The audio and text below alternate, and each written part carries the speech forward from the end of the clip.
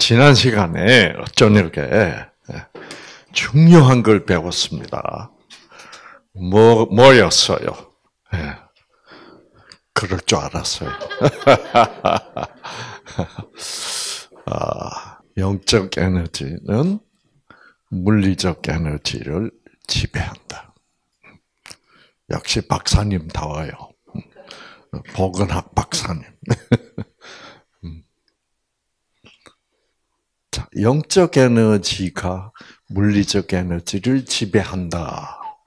전기 에너지는 물리적 에너지예요. 그렇죠? 그건 영적 에너지가 아니에요. 물리적 에너지에는 또 다른 에너지들도 있습니다. 어떤 에너지가 있어요? 네. 중력, 그렇죠. 어, 중력, 원자력, 이런 게 다 물리적 에너지예요. 영적 에너지는 그런 에너지를 지배할 수 있습니다. 아시겠죠? 그래서 성경에 재미있는, 좀 유치한 것 같이 들리는 그런 얘기가 있을 수 있는 거예요. 어, 하나님이 뭐를 갈랐다? 홍해를 갈랐다. 그거는 물리적 에너지를 하나님의 영적 에너지가 지배할 수 있어야 일어날 수 있는 현상. 노아 홍수. 여러분, 어, 하나님이 뭐를 갈른 거예요? 성경을 보면 본래 처음에 지구를 창조했을 때는 물, 물이 덮고 있었어. 그 물을 어떻게 했다? 갈라서 아랫물과 윗물로. 그래서 홍수 전에는 그 어, 지구의 그온 어, 지구를 위에 있는 물층이 덮여 있어 가지고 온 어, 지구의 온도가 다 균형이 잡혀서 그렇죠. 네.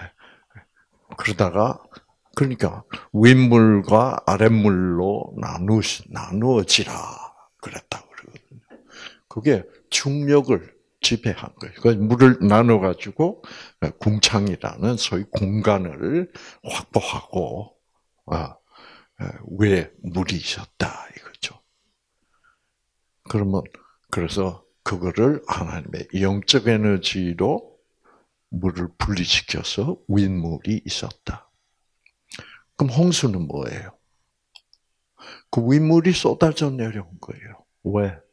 인간이 모든 지구상에 그 당시 살고 있던 그 노아의 가족만 빼고 웃기지 말라. 그런 게 어디서 윗물이 어디 있어? 예. 그러면 어떻게 될, 될 수밖에 없어요. 하나님의 영적 에너지, 물을 가르고 있었던 영적 에너지가 어떻게 거부당한 거예요. 음. 인간이 없는 걸로 선택한 거예요. 그러니까 하나님은 어떻게 할 수밖에 없어요? 노아 보고 방주를 만들어라. 네. 윗물이 내려올 것이다. 왜? 지금 온 세상이 물을 갈아 넣었다는 것을 뭐예요? 웃기고 있다. 이렇게 생각. 네, 그거예요. 홍수 시대 사람들이 아주 악해지니까 하나님이 일부러 음, 이놈의 새끼들 다 죽여버려야지. 그런 식이 아니라 거죠. 어, 거부, 아, 하나님의 그 영적 에너지를 거부. 받기를 받아들이기를 거부했다. 음. 자, 그래서 여러분 어, 중력을 어, 어, 지배할 수 있습니다. 영적 에너지.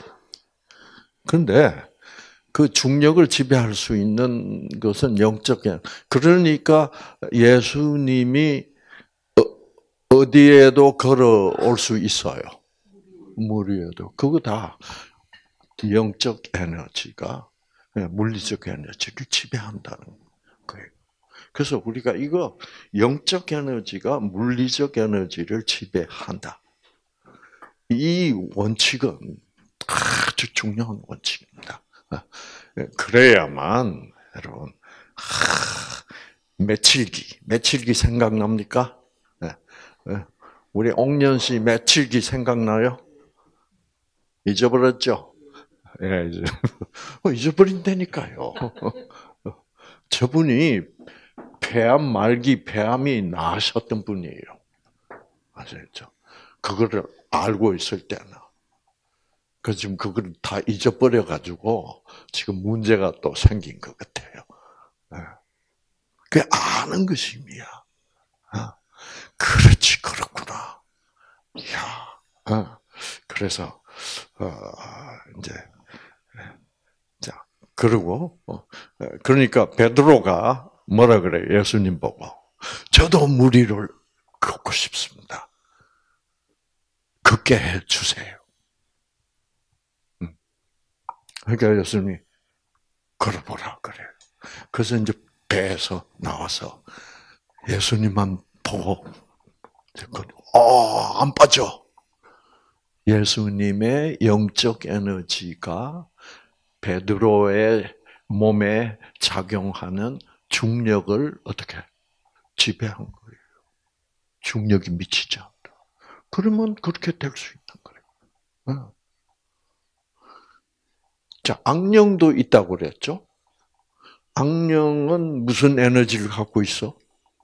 악한 영적 에너지를 갖고 있어. 그것도 영적 에너지는 영적 에너지예요. 네.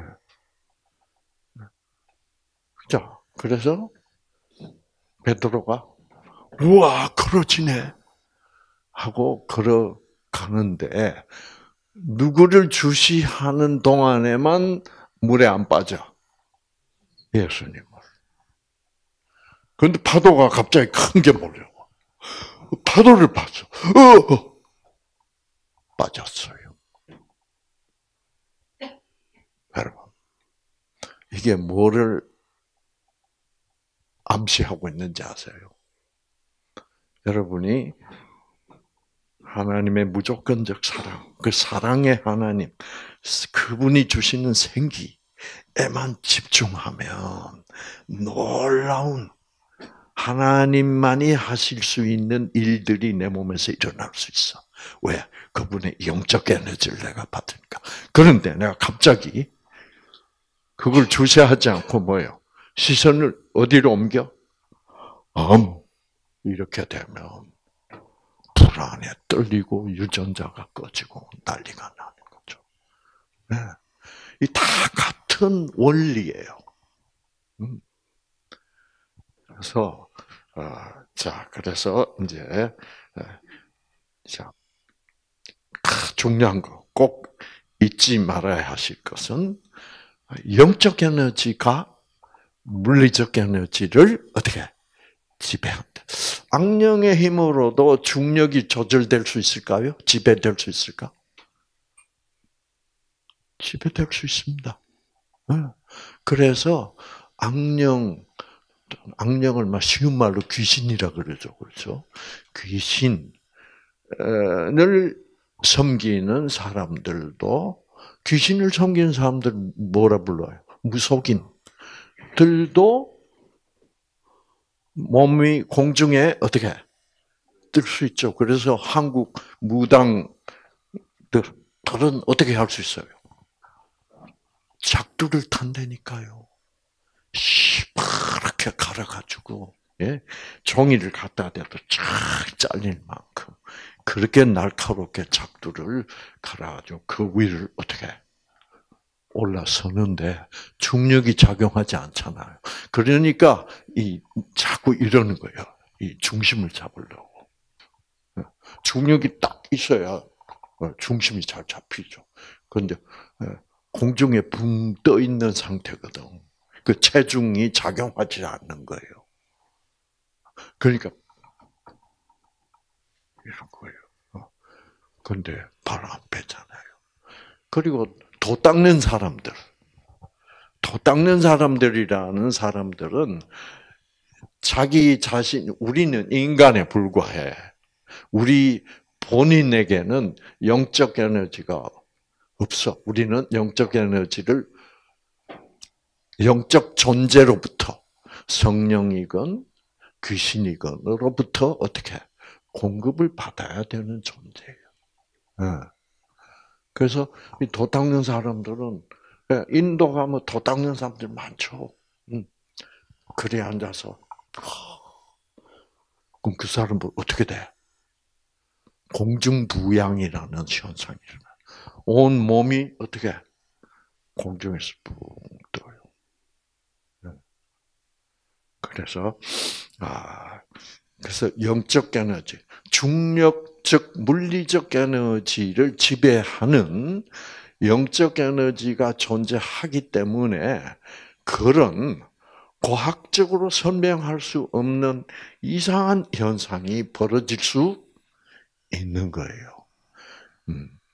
그래서 아, 이제 아마 제 생각에는 어, 그런 차원은 어, 우리가 알고 있는 뉴턴의 물리학으 로는 설명이 될 수 없고 양자역학에 들어가야 설명이 될 수 있는 이제 이론이 나올 거예요.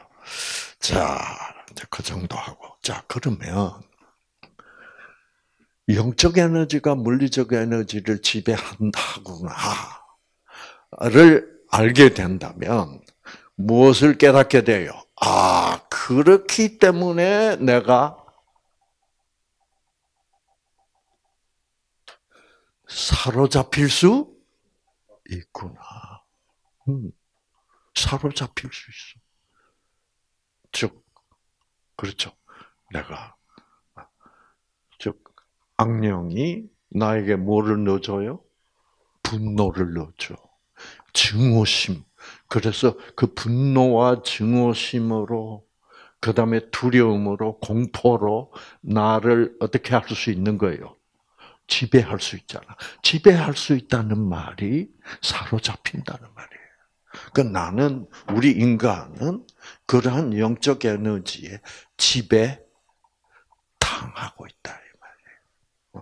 그래서 내가 아무리 그 분노로부터 벗어나려고 그래도, 예, 그 증오심으로부터 벗어나려 꽉 사로잡혀서 계속 밤새도록 내가 그 증오심에 시달리고 있고, 예, 분노에 시달리면서 잠도 못 자고, 그러면서 유전자는 다 꺼지고, 예, 그런 사망의 세력, 사망. 그러니까 영적 에너지는 생명 에너지가 있고 생명 에너지의 반대편은 뭐예요? 사망 에너지죠. 네. 그래서 생기가 있고 무슨 기가 있다? 네, 생기가 있고 그다음 무슨 기가 있어요? 사기가 있다. 그래서 여러분 사기를 일명 살기라고도 부릅니다. 예. 예. 그래서 우리가 어떻게 얘기해요? 사람을 막 죽이려고 하는 사람들에게는 뭐가 등등해요? 살기가. 예. 그거를 컴퓨터로 네파로 찍어보면 다 달라요. 음. 그래서 살기에 해당하는 네파가 나와요. 그래서 이제 여러분 이런 경우 있죠. 갑자기 사람이 아주 점잖하고 합리적이고 어?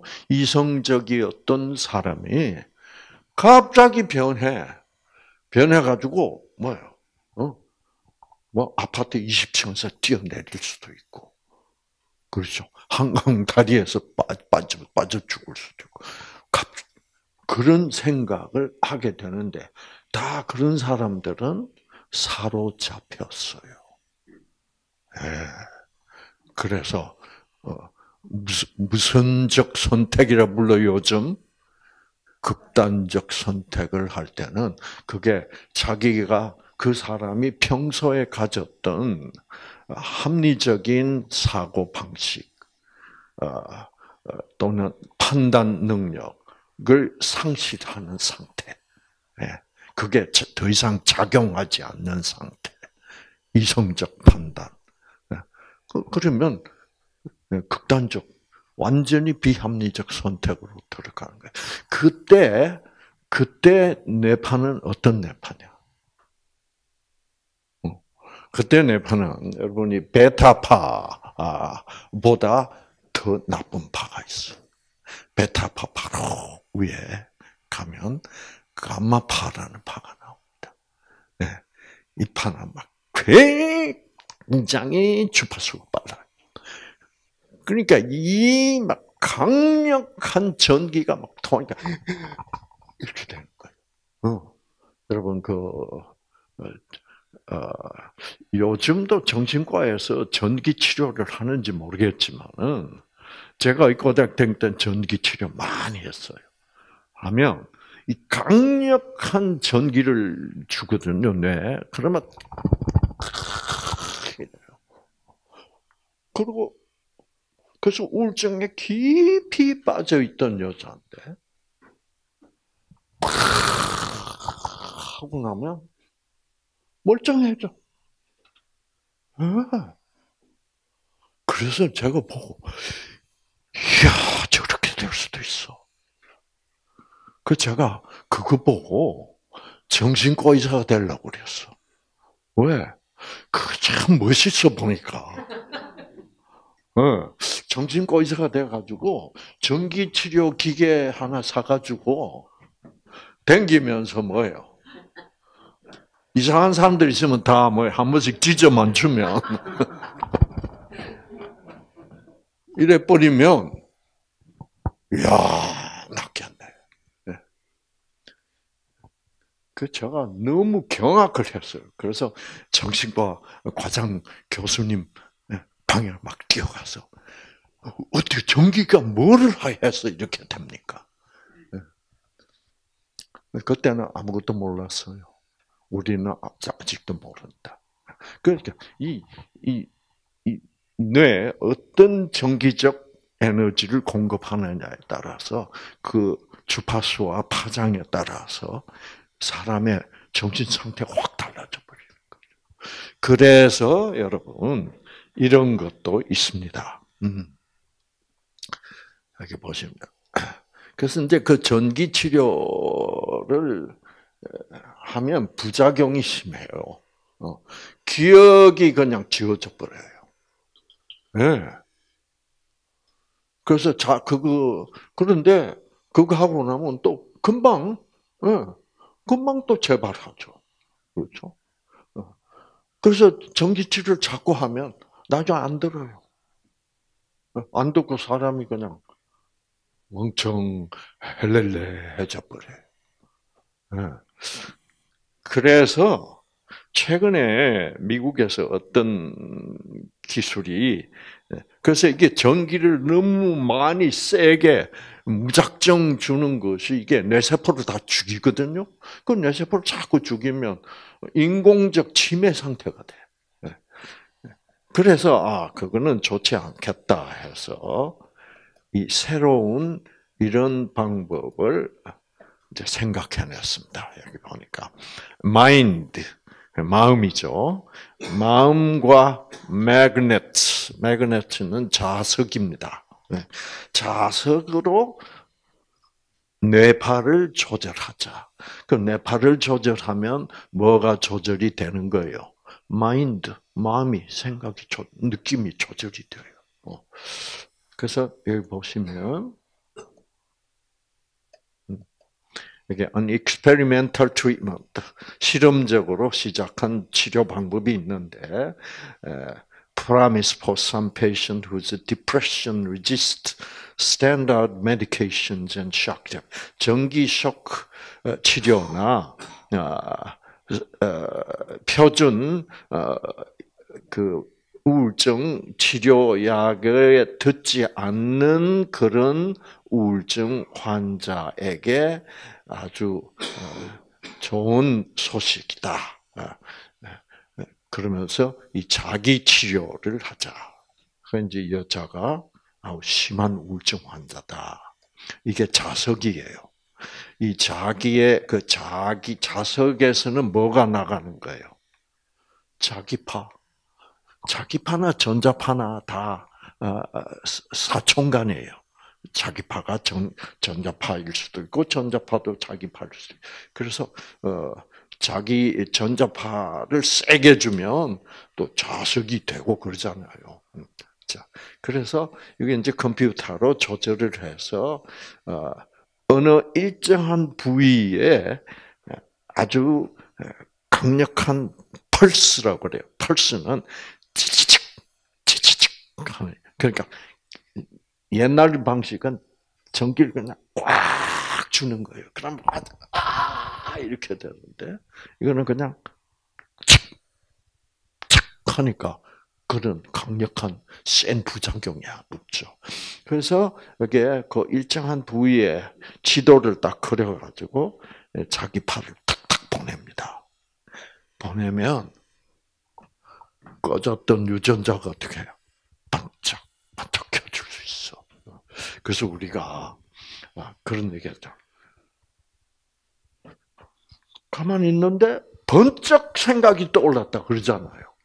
그때는 뇌 안에서 그런 강력한 전기 반응이 일어났다는 얘기예요.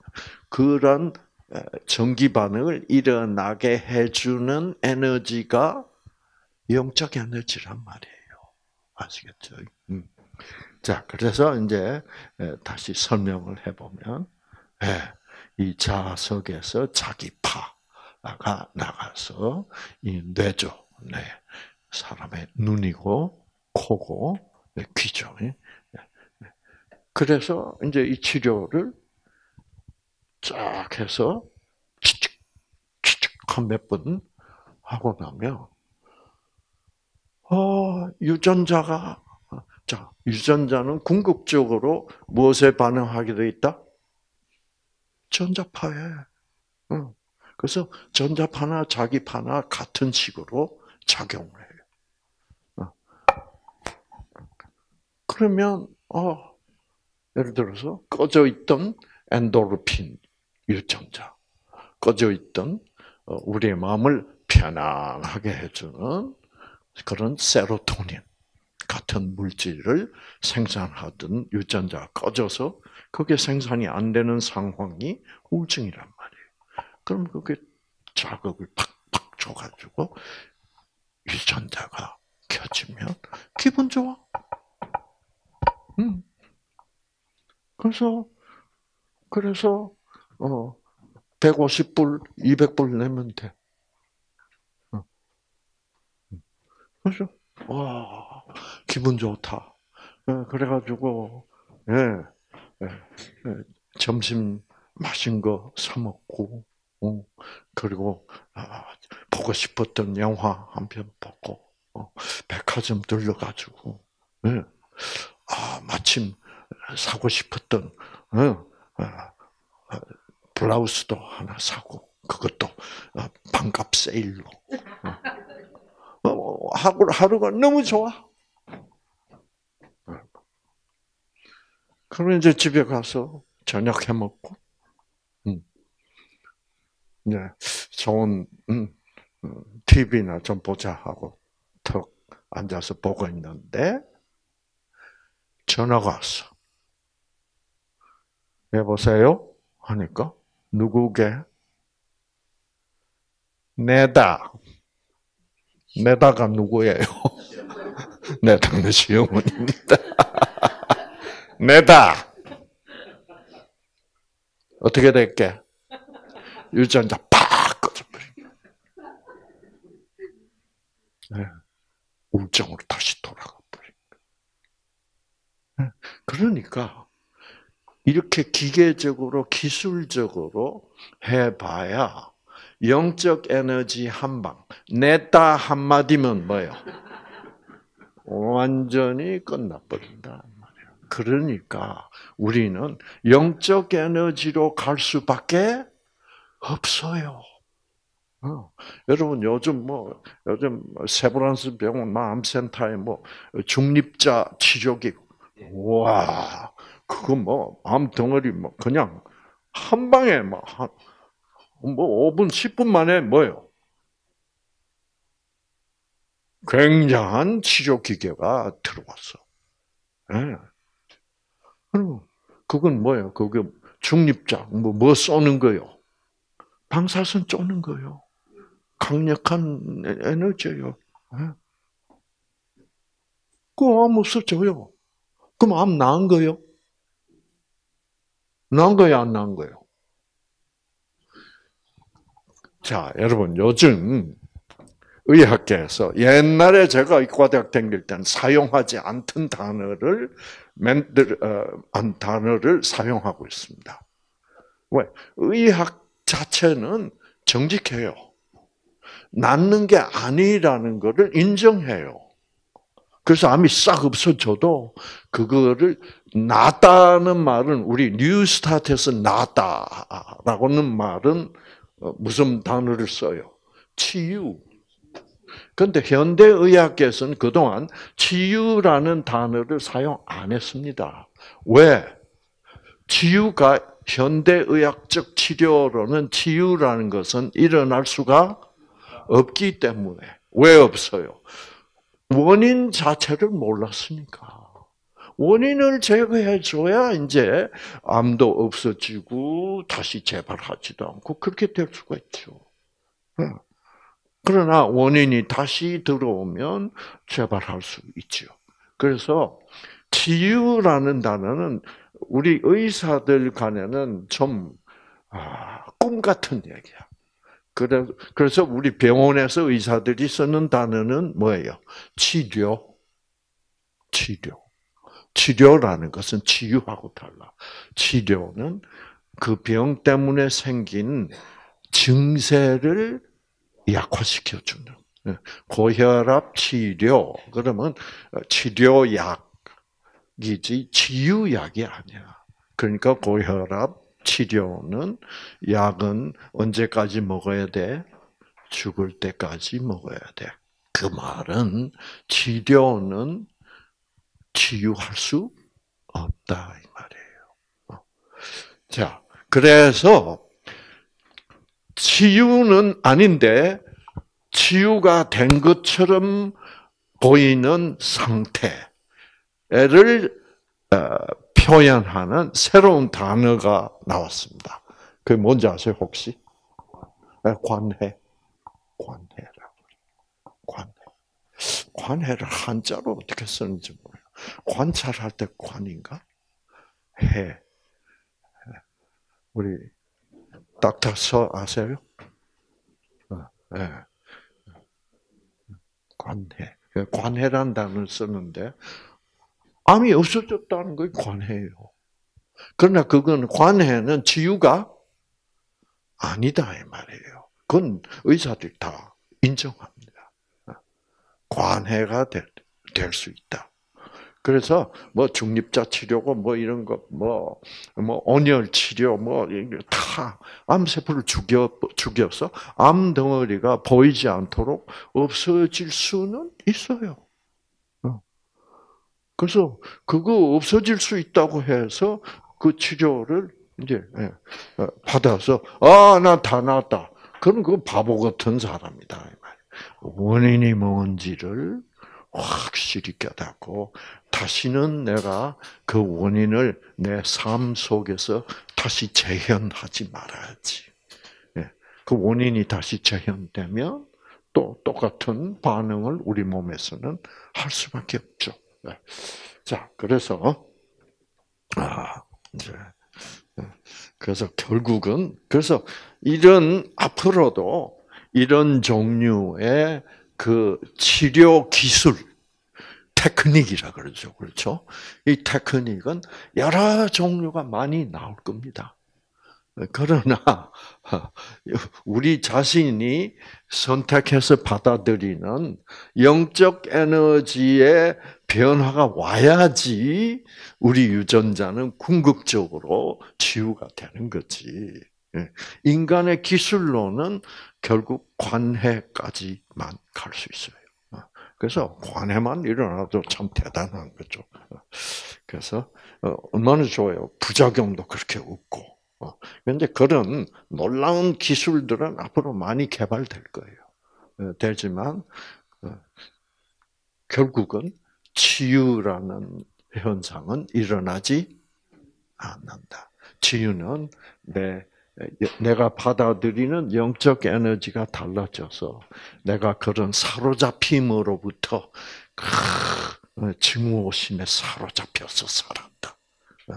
내가 평생 복수심에 불타고 살았다. 이렇게 되면 이제 맨날 재발하다 볼일 다 보죠. 아무리 관해를 시켜도. 그렇죠. 그런 어? 어, 상태라는 것을 여러분이 꼭 기억하시기 바랍니다.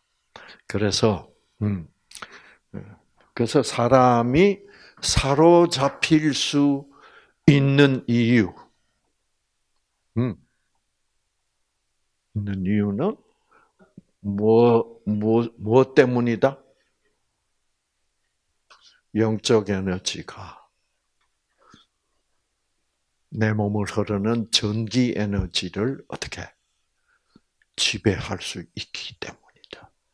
그래서 우리의 치유의 싸움은 싸움은 결국 영적 싸움이지 기술적 싸움이 아니다라는 거 아시겠죠?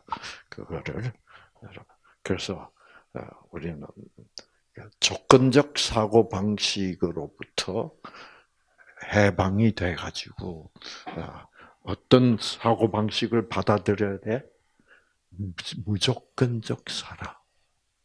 네, 그런 사고 방식을 이제 받아들이면서 그 우리 우리는 어, 순간 순간적으로 그 악령이 악한 그 어, 생각을 넣어주고 부정적인 생각, 두려움, 걱정, 근심, 어, 복수심, 증오심, 어, 분노 넣어주는 것을 어떻게 해요?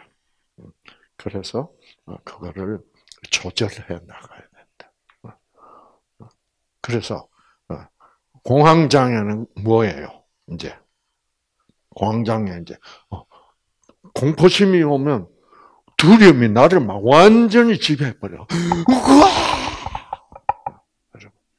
그, 제가 감마파 얘기했죠? 감마파는 언제? 언제 감마파가 돼버리냐 하면, 감마파가 탁 될 때는 화가, 화가 나도 어디까지 났다? 머리 끝까지 났다. 그, 그때까지만 해도 베타파예요. 머리 끝까지 화가 났는데 드디어 뚜껑이 열렸다. 뚜껑 열리게 하는 것이 감마파예요. 까! 하잖아요. 그 온순하던 사람. 예. 집어 던져. 예. 그 귀중품을 깨버려. 그러니까 정상적 판단력. 이게 마비가 돼. 조절 장애야. 그러면 그 조절을 못하게 하는 주인공은 무슨 에너지예요? 악한 사망의 사기야. 그때 그 순간이 살기가 등등하다고 그러는 거예요. 자, 이제 정리가 됐습니까? 네. 그래서 우리가 더구나 나이가 들고 예, 이렇게 되면 우리의 건강을 지키기 위해서 결국 내 마음을 지켜야 된다는 거죠. 그래서 내 병이 치유되기 위해서도 결국 내 마음의 변화를 내가 생각하고 어, 사고하는 방향이 바뀌어야 된다. 음. 자, 앞으로 이제 그런 차원에서 이제 강의가 계속 될 것입니다. 자, 그래서 여러분 어, 다시 강조하지만 물리적 에너지는 영적 에너지에 즉 우리 몸을 지배하는 실제로 직접적으로 지배하는 에너지는 무슨 에너지다? 전기 에너지예요. 어, 그 우리 몸을 지배하는 전기 에너지의 흐름을 뭐라 부른다? 생체 전자파라고 부른다. 예. 생체 전자파를 시작하는 것은 뇌파다. 뇌파는 뜻에 반응한다. 뜻은 영, 영, 영에 내가 어떤 영을, 즉, 성령을 선택할 것인가, 아, 악령을 선택할 것인가에 따라서 나의 뜻이 달라지고, 어, 그 뜻에 따라서 내 뜻이 나의 내면의 환경을 형성합니다. 그렇죠? 그래서 내 내면의 환경이 어떤 환경이냐에 따라서 내 유전자는 변화될 수 있다. 그래서 우리는 어떤 내면의 환경을 형성할 것인가, 또 더 올라가서 어떤 영적 에너지를 선택할 것인가, 용서할 것인가, 계속 미워할 것인가, 를 내가 강력하게 선택하고 어, 적어도 내가 용서가 안 될지라도 여러분 내가 용서를 선택했다고 해서 용서가 쉽게 되는 거 아니에요. 그럼 왜 그래요? 내가 증오하게 하는 나를 증오하게 하고 용서하기 싫어하게 만드는 사기 악령의 영적 에너지가 나의 생체 전자파를 지배하면서 유전자를 지배하고 있기 때문에 그래서 힘든 거예요. 그래서 나로서는 절대로 그거를 물리칠 수가 없고 내가 무엇을 받아들이고 드려야 드려야 됩니까? 성령을. 그래서 자 그런데 우리가 그거를 아, 그렇다고 해서 내 마음속이 예, 무조건적 사랑으로 가득 차는 것도 아니에요. 그렇지만 여러분 적어도 내가 이 악령은 더 이상 선택하기 싫다. 성령을 그 무조건적 사랑, 그 사랑의 생기를 선택하고 싶다라는 의사 표시는 해야 돼요. 그 의사 표시를 기도라고 불러. 그래서 여러분 교회 가라는 얘기 안 해요. 예. 저는 종교는 별로예요. 저는 과학적으로 종교를 설명하는 사람이지. 예. 그래서 예.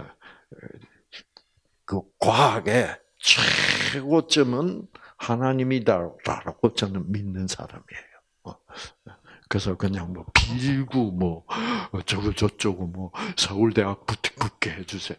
이런 거는 이런 거는 성경이 아니라 그런 거는 교회에서 일어나는 미신적 현상이다. 이렇게 저는 보고 있는 거예요. 그래서 그래서 참 그거를 개탄하시는 분들이 많아요. 음. 그래서 뭐 복 주세요. 뭐, 뭐 우리 남편 뭐 어, 승진하게 해주세요. 어, 어, 그건 뭐 절에 가서 하면 더 효과가 있을 거예요 아마. 근데 절도 알고 보면 그거 아니에요. 아시겠죠? 네, 석가모니 선생님이 가르치면 그런 거 없어. 돈 벌고 싶거든. 절에 와서 부처님한테 돈 놓고 기도해라. 그런 거 불교에 없어요. 이래 모든 것들이 변질되고 타락한 거예요. 네. 그래서 자, 그래서 여러분 어, 사로잡힌 그래서 내가 적어도 어, 사랑의 하나님, 무조건적 사랑의 하나님, 우리에게 우리 유전자를 주관하시는 생기를 주시는 하나님. 나는 지금 이 상태, 악령에 지배당하고 있는 완전히 사로잡힌 상태로부터 나는 자유하고 싶습니다. 도와주세요. 그 정도는 하셔야 돼요. 그 정도, 여러분. 이제는 그렇게 하는 것이 무슨 종교적 행위예요? 아니잖아. 과학적으로 맞는 말이에요, 아니에요? 그럼요. 그래서 아, 그 생기는 사랑이기 때문에 예, 어, 우리에 대한 모든 유전자를 알고 있잖아. 여러분, 한번 다시 이제 봅시다. 자, 음? 며칠기 얘기가 또 나옵니다. 여기서 여기까지는 무슨 유전자, 또 여기서 여기까지는 무슨 유전자. 이거를 누군가가 알아야 돼요. 예를 들어서 네. 아, 여기서 여기까지는 암세포를 죽이는 물질을 생산하는 유전자다. 음. 자, 그러면 일단 저 꺼져 있던 저 유전자를 저렇게 활짝 켜려면 그렇죠? 아, 내 몸에 암세포가 생겼다는 것을 알아야 돼. 그 아니까 죽여야죠. 그 죽이려면 저 유전자가 켜져야지. 저 유전자가 켜지려면 어떻게 며칠기가 어떻게 어떻게 돼야 돼요? 며칠기에 붙어 있던 거를 떼버려야지.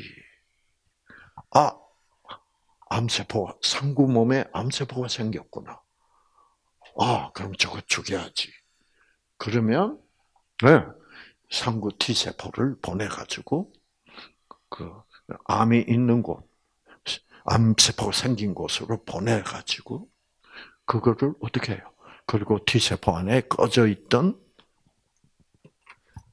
이 빨간색 유전자를 켜줘야죠. 왜 여기서 여기까지는 암세포 죽이는 물질을 생산하는 유전자니까 여기서 여기까지는 엔도르핀 그렇죠. 여기서 여기까지는 또 다른 각각의 유전자들이 다 있잖아요. 이 유전자가 어디에 위치한 유전자인지를 알아야지. 그렇죠. 그러면 누구만 알 수 있어요.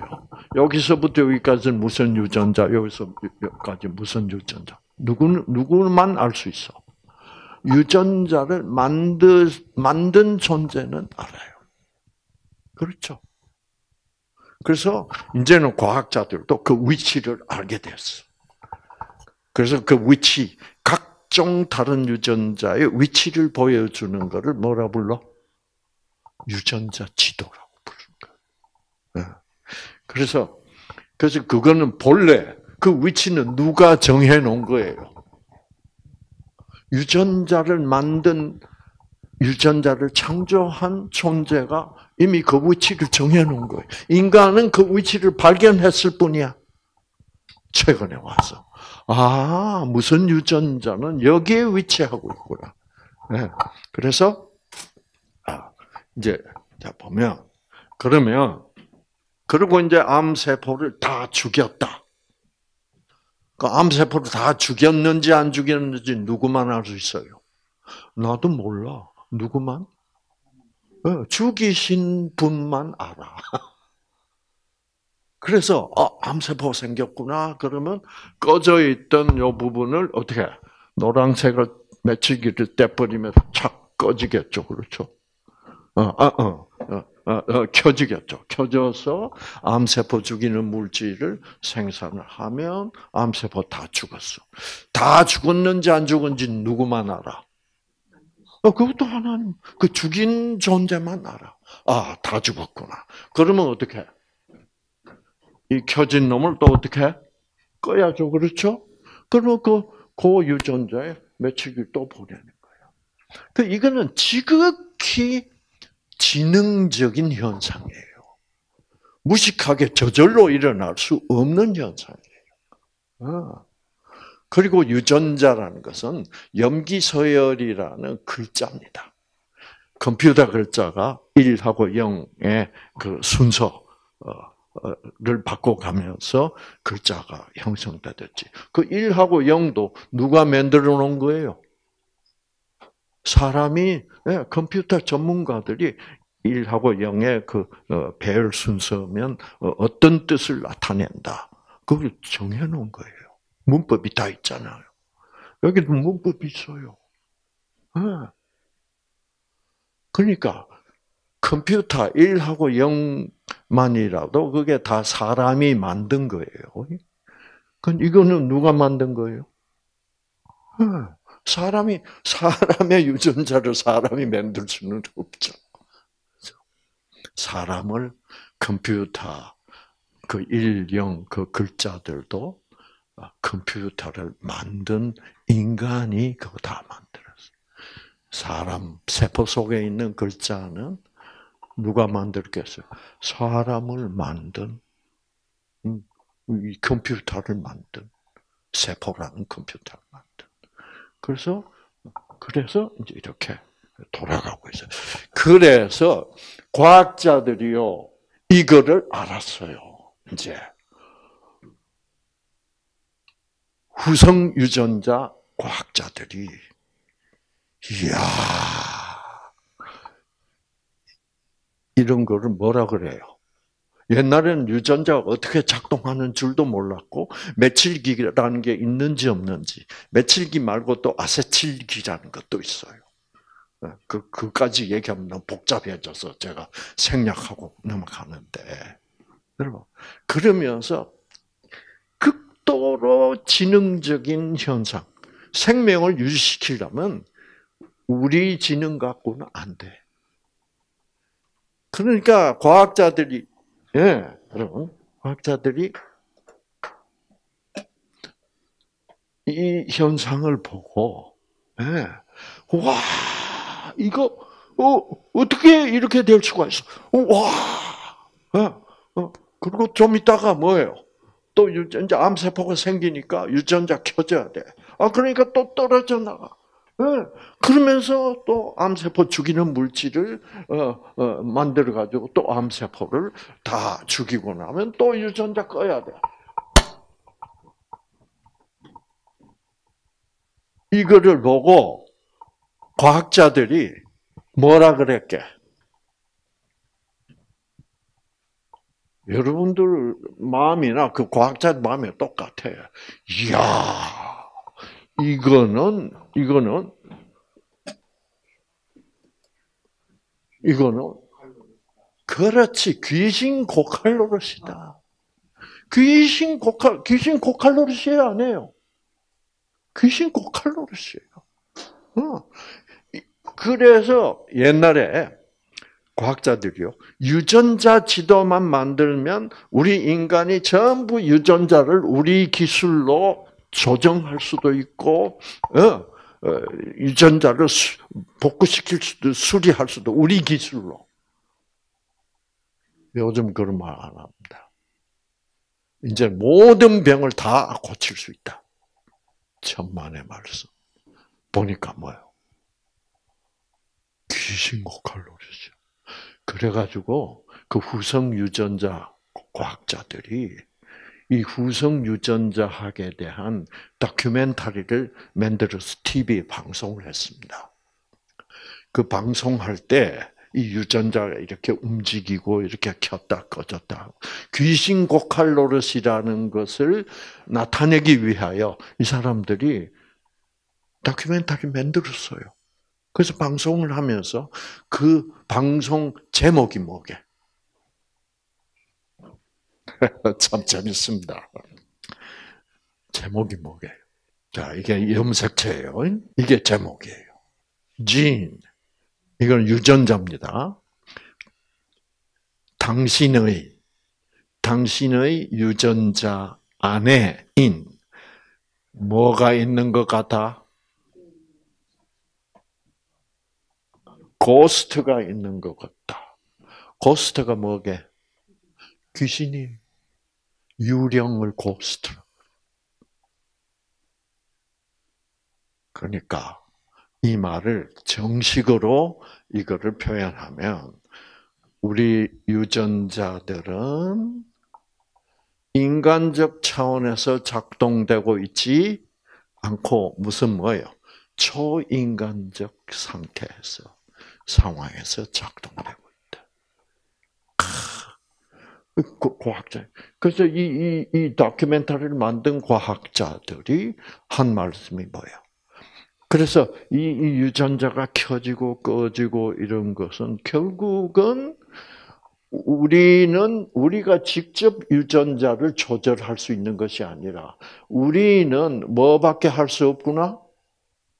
선택. 그래서 유전자는 선택에 따라서 변한다는 결론이 나온 거예요. 네. 와, 여러분. 음. 여러분. 저는 이제 이거를 깨닫고 참 그 어, 그러니까 이제 성령과 악령이 분명히 나, 분리될 수 있죠, 그렇죠? 네.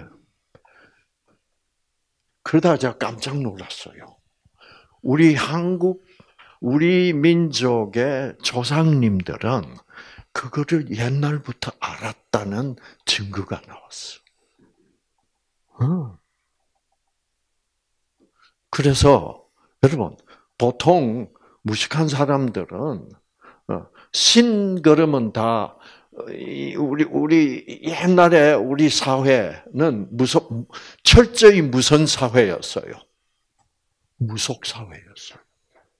무속 사회에서 신 그러면 다 무슨 신이요? 다 귀신들이지. 그러니까 제사로 지나고 그러잖아요. 죽은 사람 귀신이 돌아와서 먹 먹는다는 그 말도 안 되는 거를 이제 믿었단 말이에요. 어.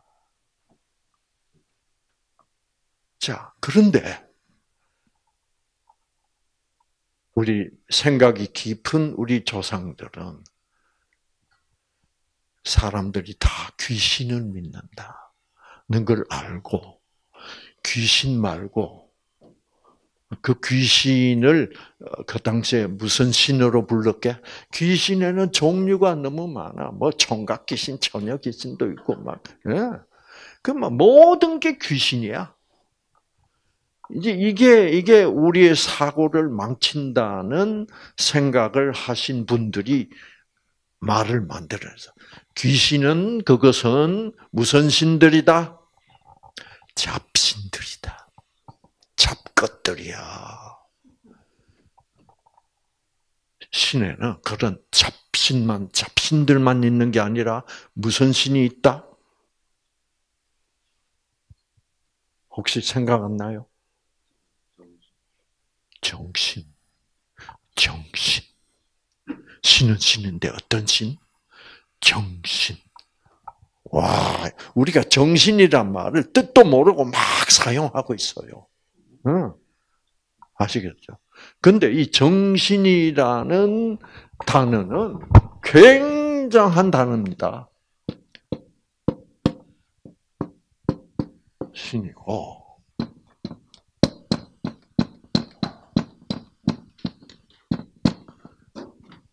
잡신이 아니라 무슨 신이다? 정한 신이 있어. 여러분, 저 정자가 무슨 뜻인 줄 아세요? 네.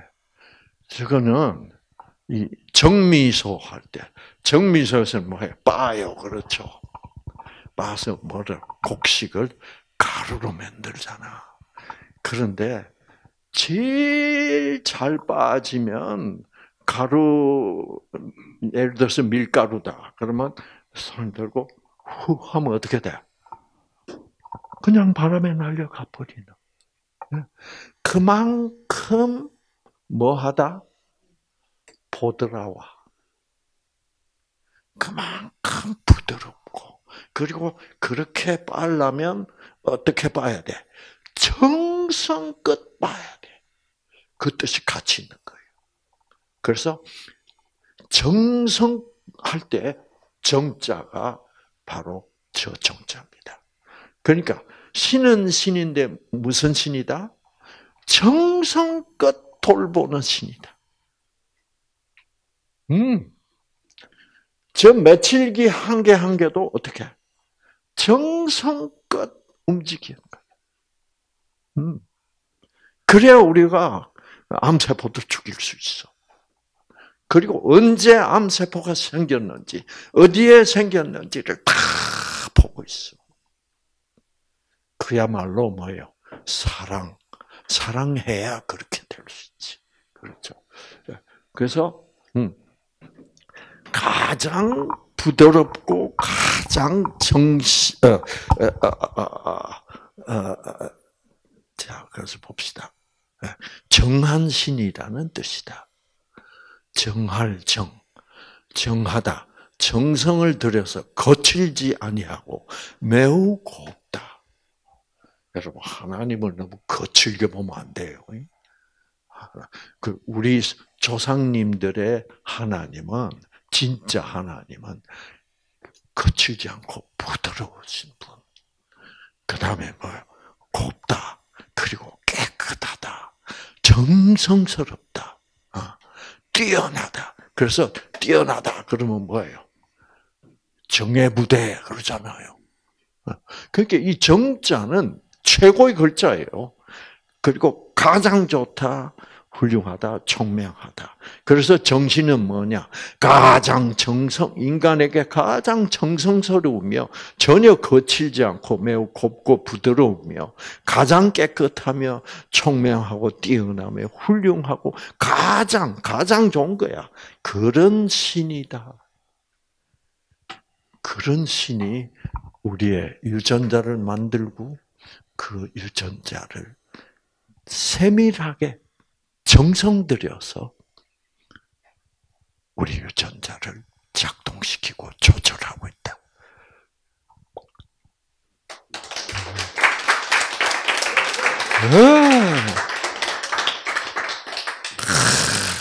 그러니까 우리 조상님들은요, 진짜 신은 다르다. 무선 신들하고 다르다. 이 잡신들하고 다르다. 이 무속신들하고 다르다. 네. 아, 정신이 있다. 참신이 있다.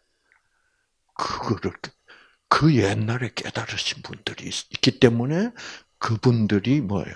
이런 정신이라는 단어를 만들어낸 거예요. 그래가지고 여러분, 아, 저는 옛날에 정신이라는 말이 무슨 말일까? 그래서 정신은 그냥 의식을 뜻하는 단어다라고만 생각했는데 알고 보니까 그게 아니잖아요. 의식이 있어도 어, 점심 잘 먹고 왔다 갔다 하는 놈을 보고도 저 자식은 뭐라? 정신 없는 놈이라. 의식 있는데 왜 정신 없다 그래요? 그게 우리 우리 한국인들의 우리 민족의 신에 대한 관념이에요. 아, 멋지잖아요. 성경하고 맞아요, 맞아요. 맞습니다. 의식이 있다고 다 정신 있는 것은 아니다. 그래서 정신 그리고 그리고 정신은 뭐예요? 저 자식이 정신이 나갔더니 오늘 보니까 뭐요? 정신이 들었네. 영은 그렇게 될 수 있어요. 영은 나가기도 하고 뭐요? 다시 들어오기도. 여러분 이게 보통 단어가 아니에요. 음. 그래서 저는 이거를 깨닫고 어 우리 조상님들이 하나님이라는 단어는 잘 사용을 안 했지만 하나님을 정신이라고 불렀구나. 그래서 저는 앞으로 어, 그냥 정신이라고 말하지 않고 정신님으로 부르기로 했어요, 저는. 정신님. 음, 음. 자, 보세요, 이제. 그래서 이 신, 신의 능력을 영, 영적 능력이라고 그래요. 그 신 영, 이렇게 같은 뜻으로 사용되는 겁니다. 그래서 여기는, 여기 앞에 잡신이 붙으면, 어, 무슨 영이에요? 악령이죠. 어, 여기에, 여기에 이제 정신이 붙으면 여기 무슨 영이에요? 성령이죠. 음. 그렇게 되어 있는 거죠. 자, 그래서 정신은 성령이고 어, 성령으로부터 생기가 나오고 그것은 하나님의 무조건적 사랑이다. 잡신은 악령이다. 아, 그, 그 하나님이 주시는 생기를 어떻게 막는다. 아. 그, 그래서 그러니까 사랑의 반대 증오. 그 증오심이 가장 해로워요. 어. 그래서 유전자를 꺼버리고 어, 스트레스를 준다. 그래서 우리는 정신 없이 살고 있다. 정신을 놓았다. 정신이 들어왔다. 정신이 나가버렸다. 정신을 빼앗겼다. 예? 온갖 이 정신을 잃지 마라. 예. 항상 정신을 어떻게? 항상 성령 안에서 성령으로 살아라. 성령의 음성을 들으면서 살아라. 라는 그런 사상을 우리 조상님들은 뭐요? 가지고 있었어. 예. 그래서 저는 아주 골치 아픈 문제를 해결했습니다. 아, 아, 기독교라는 종교가 이 조선 땅에 들어온 것이 150년 정도밖에 안 됐죠? 그렇죠. 그러면 많은 사람들이 이런 질문을 던집니다. 그러면 150년 전에 살았던 기독교가 들어오기 전에 살았던 우리 조상님들은 구원받은 사람이 한 사람도 없다는 말입니까? 말이 돼요, 안 돼요? 말 돼요. 그러나 그러면 안 돼. 그렇죠. 그렇지 않다. 기독교라는 종교가 들어오기 전에도 우리 조상님들은 잡신을 배격하고 그렇죠. 정신 참신에 대하여 알고 있었다. 왜 알았을까? 기독교란 종교는 안 들어왔는데 아직. 왜 우리 조상님들은 정신이라는 즉 성령이라는 동일한 뜻을 가진 단어를 만들 수 있었을까? 잡신이 우글거리는 이 무속 사회에 정신을 차린 성령을 받으신 분들이 있었다 이 말이죠. 어. 그러니까 아 여러분 아, 아, 아 성경에 보면 이런 말이 있습니다. 하나님이 창조 로마서 1장에 하나님이 창조하신 이 자연을 보면 종교를 받아들이지 않더라도 이 자연만 봐도 하나님이 창조하신 모든 것에 뭐가 나타나 있다? 신성이 나타나 있다. 그거를 보고 깨달을 수 있다. 그를 깨닫게 해주시는 분은 뭐예요? 성령이다. 그렇게 성경 사도 바울은 기록하고 있어. 네. 그래서 여러분, 어, 자 그러니까 정신을 차리는 것이 뭐를 받는 거예요? 알고 보니까 생기를 받는 거예요. 성령, 성령의 힘을 받는 거예요. 그래서 어, 그래서 정신은 언제 빼앗깁니까? 네. 아주 착한 남편, 너무나 가정적이고, 아내를 사랑하고, 자식을 사랑하고, 월급만 받으면 뭐예요? 다 마누라한테 전액 바치고 하는 그런 참 착한 어, 남편이 하루는 아, 회식을 갔다가 옆에 앉은, 예, 꽃뱀한테 여러분 꽃뱀한테 그냥 정신을 어떻게 뺏겼어. 네. 그런 수 있어요, 없어요? 많이 일어나죠. 정신 빼앗겨. 꽃뱀이 유혹을 한 거예요. 어. 그런 착한 남자일수록 꽃뱀한테 잘 당합니다. 아시겠죠? 뭐라 그러면 돼요? 여자들이 남자를 치명적으로 꼬실 때 하는 말. 남자들은 여자 입에서 어머머가 나오면 대가닥 해버립니다. 어머머. 선생님. 선생님처럼. 아, 이래 버리면 그 착한 남편이 어. 그래서 월급은 다음 달 월급은 누구한테 가?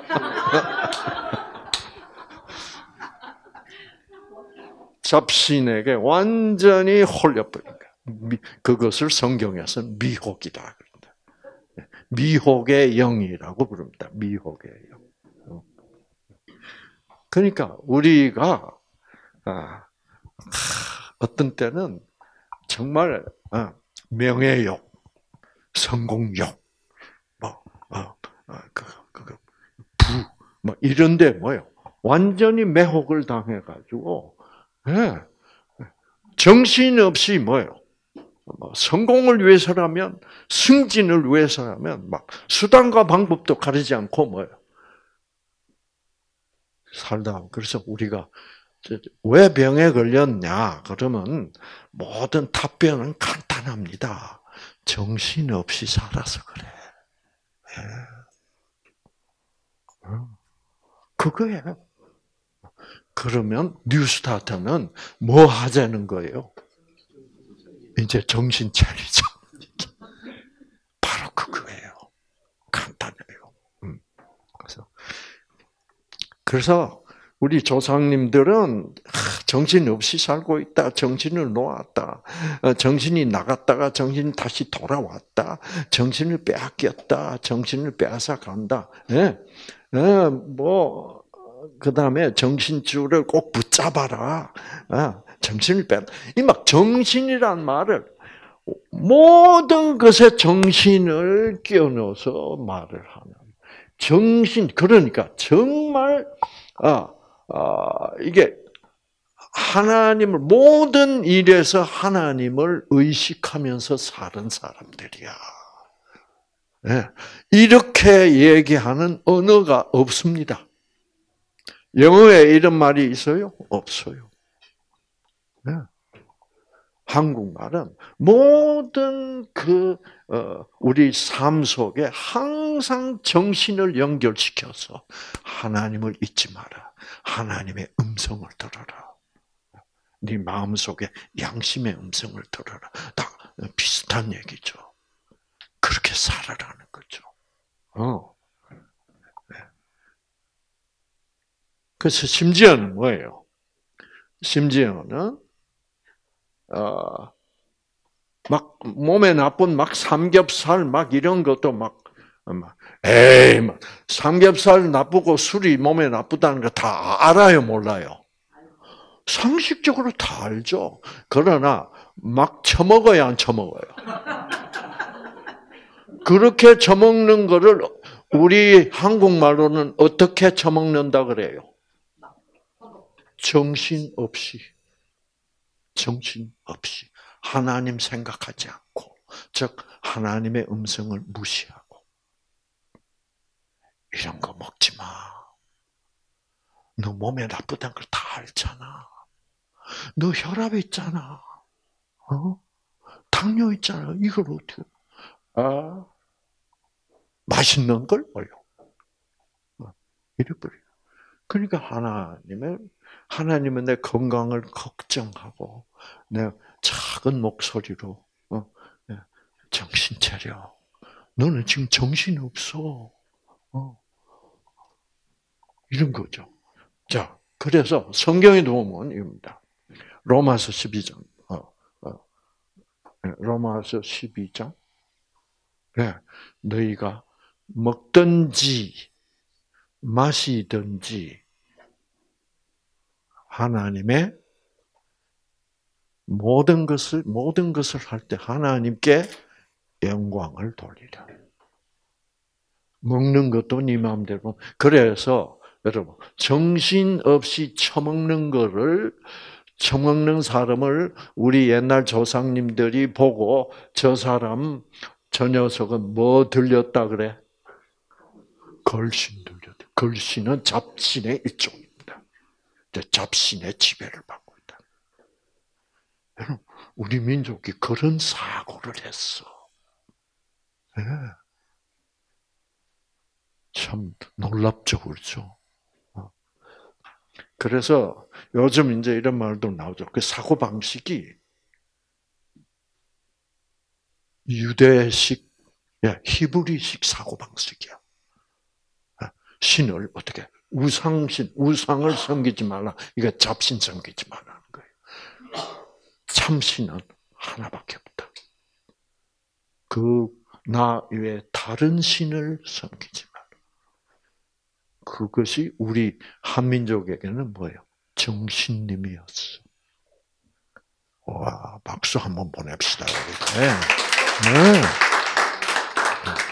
그래서, 어, 그래서 뉴스타트에는 뭐가 있어요? 절제란 게 있어요. 절제. 아무리 맛있어도 뭐요? 허겁지겁 잡신의 지배를 받으면서 먹지 말고 정신 차리고 어떻게 먹어? 천천히 꼭꼭 씹어 먹어. 그렇게 먹는 것이 정신 차리고 먹는 거야. 지금 너무나 많은 사람들은 걸신 들린 것처럼 정신없이 처먹고들 살고 있어. 아시겠죠? 네. 그래서, 아, 그래서 우리 그러잖아요. 정신 차리고 적당히 먹어. 절제하라고. 정신 차리고 꼭꼭 씹어 먹어. 아, 이게 사랑할 때 하는 말이죠. 아, 그래서 여러분, 아, 정신, 오늘도 정말 정신을 새롭게 차리는 하루가 되셔서 여러분의 유전자가 정신님의 보호 아래서 다시 회복돼서 질병이 관해되는 것도 아니고 치유되시기를 바랍니다.